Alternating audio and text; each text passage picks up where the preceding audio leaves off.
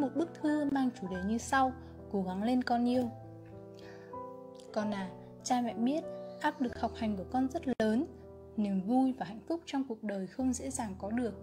Cha mẹ đều nhận ra con luôn tự dùng đôi vai nhỏ bé của mình để gánh vác tất cả. Bao nhiêu lần trong đêm muộn, con gục đầu trước cửa sổ Vào buổi sáng sớm của mùa đông lạnh lẽo Con miễn cưỡng rời khỏi chiếc giường ấm áp Và còng lưng trên chiếc xe đạp đơn sơ Gió lạnh làm mặt con đỏ ửng lên. Nhìn con như vậy, cha mẹ không khỏi đau lòng. Nhưng con à, trên đường đời không có bữa ăn nào là miễn phí cả. Con nhất định phải cố gắng để vượt trội hơn người. Như vậy, con mới có tư cách để hưởng trái ngọt. Bởi vì con đường trưởng thành con cần phải tự mình bước đi. Không ai có thể lớn lên thay con. Bố mẹ chỉ có thể chăm chỉ làm việc để bên cạnh thúc giục giúp đỡ con thôi mong con sớm trưởng thành và trở thành một người có ích cho xã hội. Lúc con học bài, cha mẹ thay con lo nghĩ mọi việc trên đời, trên mạng lan truyền một câu như thế này. Mọi người đều cảm thấy rất tâm đắc. Bố phải để con đương đầu trước, để ngộ nhỡ, bố đột nhiên ngã xuống mà con lại không thể đứng vững. Không ngại vất vả, chăm chỉ làm việc cũng chỉ vì muốn con có thể ngồi thoải mái và yên tĩnh trong lớp học mùa đông cũng như mùa hè, cha mẹ sẵn sàng làm thêm một công việc tạm thời. Vì nghĩ rằng ít nhất có thể đủ mua thêm cho con vài cuốn sách tham khảo. Đi chợ cân đo đong đếm, suy nghĩ nát óc làm sao để bổ sung đầy đủ dinh dưỡng cho con. Đôi khi bận đến mức bị ốm cũng mặc kệ. Từ thời khắc con được sinh ra trên thế giới này, cha mẹ đã bắt đầu hy sinh tất cả mà không chút phàn nàn hối hận dành cho con những thứ tốt nhất mà cha mẹ có. Chỉ mong con lớn lên khỏe mạnh cam tâm tình nguyện, không mong đáp trả. Tương lai là của riêng con, cha mẹ không mong có ngày con đáp trả. Mỗi người chỉ có thể sống một lần trên đời, không có cơ hội quay đầu làm lại. Cha mẹ chỉ có thể bên cạnh con một lúc nào đó, nhưng không thể bên con cả đời.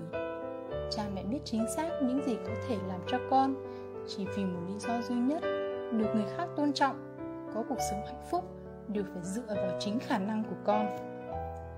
Một ngày nào đó, con sẽ hiểu rằng của cải không thể vĩnh cửu và cuộc sống sẽ cho con biết thành công thực sự nhất định phải dựa vào khả năng và sức lực của chính con.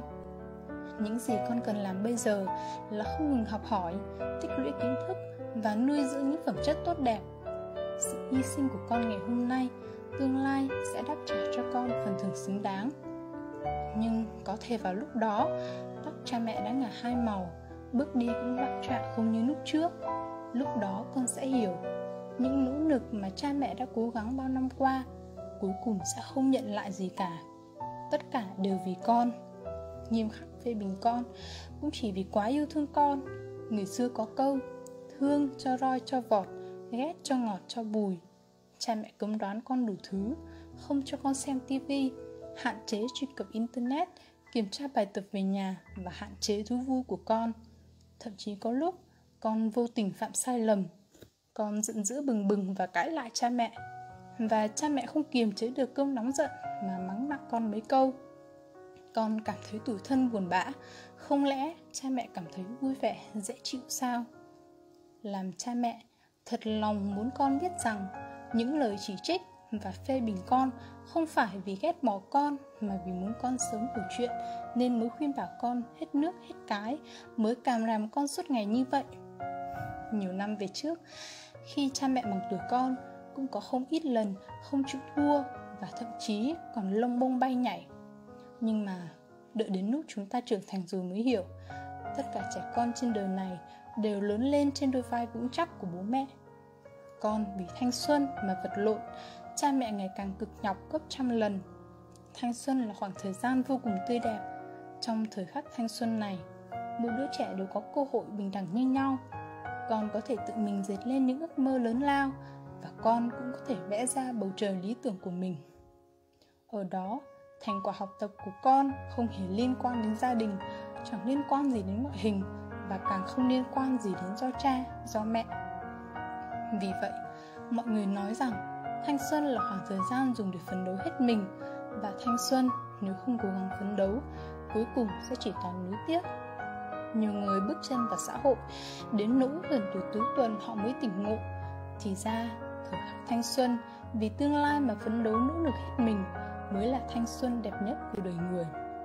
Là cha mẹ, đương nhiên không muốn khiến con vì tương lai của mình mà lo lắng, và cũng không muốn con hối tiếc khi con đã trưởng thành cha mẹ sẵn sàng cùng con đối mặt với những khó khăn vất vả trên con đường trưởng thành và cùng con chia sẻ niềm vui hạnh phúc.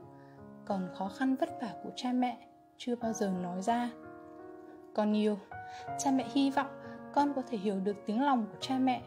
Cha mẹ sẽ làm hết sức mình và đồng hành cùng con trên con đường đời. Chúng ta yêu con.